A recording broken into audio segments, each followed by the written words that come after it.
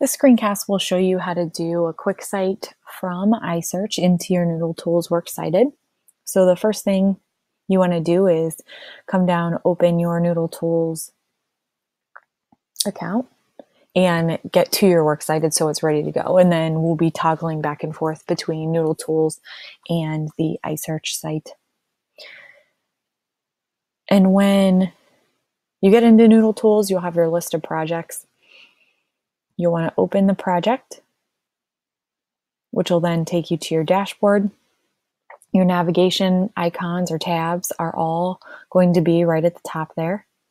So I'm in my dashboard now. I want to click over to sources and now I'm ready to go out and find some good research.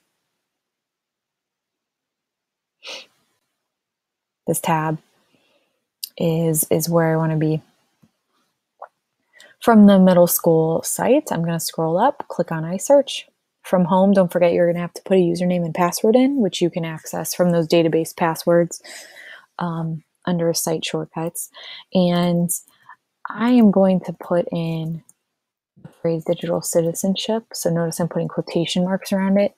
That's going to pull any results with those two words together. And of course, my library tab is default and going to show up first, but I'm going to click over to the basic resources tab or the basic sources tab. And then just for the sake of this, um, I'm going to kind of just look, scan the article titles, the sources, morning edition NPR looks like a pretty solid option there. And since it is NPR, that's a radio program you or morning edition is a radio program you're going to be given a transcript which you would be able to still get some pretty great information.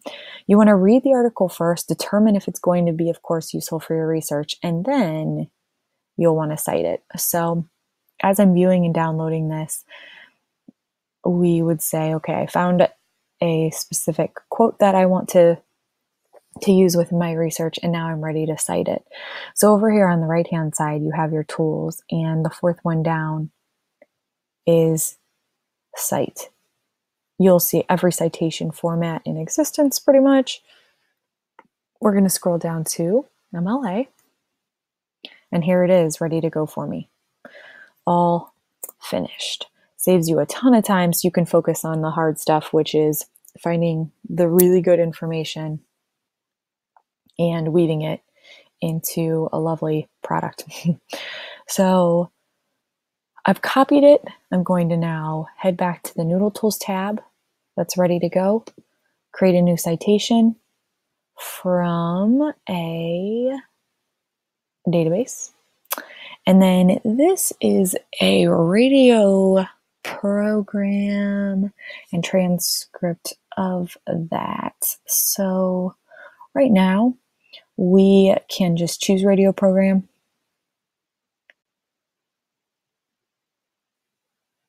And this is where you could kind of piecemeal in all of the information field by field, but we don't have to because from a database, we can choose quick cite and paste it into a simplified field. You'll notice it'll probably turn into a black strip. When I highlight over it, the full citation is there. Um, and if that bothers you, you can highlight it, right click, paste in match style or paste as plain text and it will then go away. It's kind of a weird quirk. But we're almost done. All we have to do now is go back and get the permalink in case in a week or a couple weeks we want to refer back to this exact article. We'll be able to to get more research. So the permalink when you click on that tool over to the right, will reveal itself right here, where, which I'm going to copy. Notice I am not taking this URL up in the, um, the web address field because that could be different tomorrow. So the permalink is a permanent link to this article. It won't change. It will always follow it. And that is what we want to paste into this URL field. We can click submit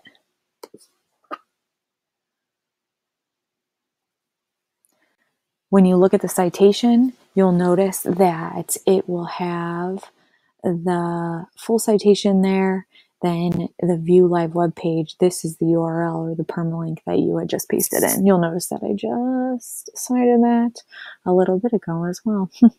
but that's how you do it. So good luck.